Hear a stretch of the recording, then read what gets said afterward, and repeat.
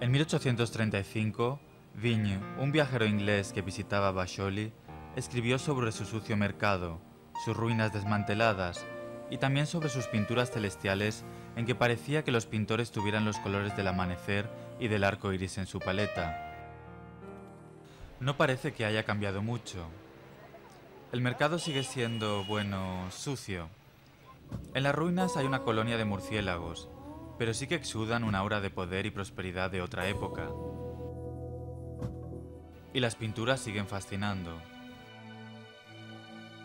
Fue alrededor de 1640, durante el reino de Raja Sangram Pal de Basholi, que a propósito era muy popular en la corte del emperador Shah Jahan, cuando emergió un nuevo estilo de pintar.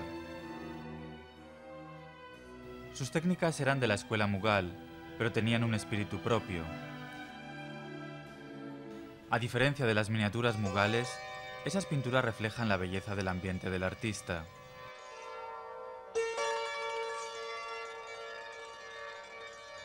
El paisaje de las montañas Shivalik, su flora y fauna. También inspiraron el eroticismo de la literatura Srinagar en la poesía. Lo que realmente les apartaba era el uso de los colores primarios, hechos de piedras encontradas en el río y que venían de las flores, árboles y arbustos cercanos al artista. Otra característica singular es la forma distintiva del ojo, el ojo Basholi. Vigor primitivo, intensidad salvaje, fueron las palabras usadas por el grupo refinado, familiarizado con la delicadeza de las miniaturas mugales para describir inicialmente a las pinturas Basholi. Sin embargo, en 1930, su vigor bárbaro había sido reconocido como la cuna de todos los cuatro centros de pinturas de montañas y estaba empezando a crear entusiasmo en el mundo. Desafortunadamente, la historia fue distinta en Basholi. कि मेरे दादाजी ने अमृतसर से एक भाई व्यापारी आया था वो पचास पचास रुपए से पेंटिंग ले गया था Vaid Ramni Waspada sabía, como es un descendiente directo de los Rashbites de Basholi o los médicos del rey, que recibieron las pinturas como parte del patrocinio reales.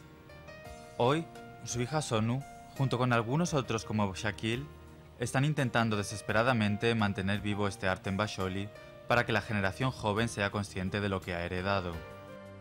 ये आर्ट जो है ये वर्ल्ड फेमस है अगर ये सिर्फ बुक्स में रह जाएगा अगर हम लोग नहीं करेंगे Desafortunadamente, sus temores parecen muy ciertos, pues Basholi sigue cayendo en el olvido, y la intensidad salvaje de las pinturas Basholi es apreciada en algún otro lugar.